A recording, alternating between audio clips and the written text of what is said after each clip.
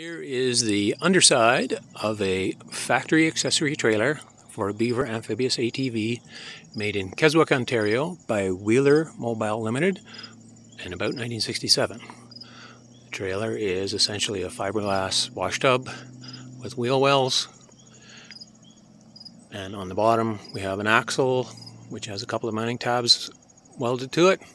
And then the tongue has a mounting tab in the back and everything is simply bolted through the fiberglass to the bottom of the trailer.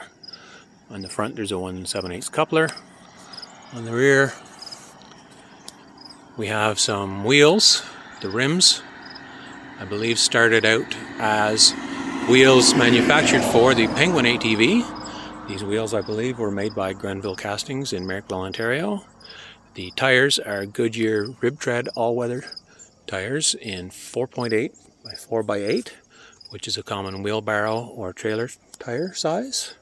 These tires are two ply, not meant for highway service. And here, we straighten out the wiring a little bit. We see the trailer as it would be on the ground. Uh, not much to it. Here we see the inside. Again, there are those mounting bolts for the tongue and the axle. It's painted gray the inside.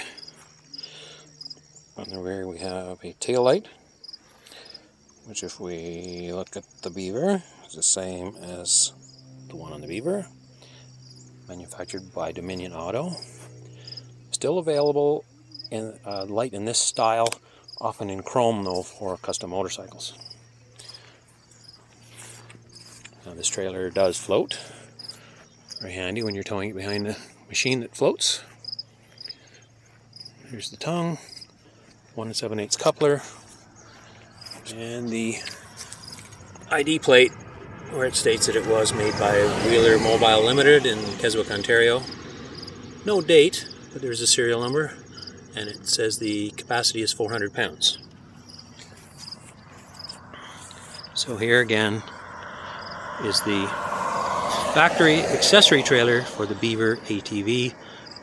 Beaver ATV we can actually see in the background.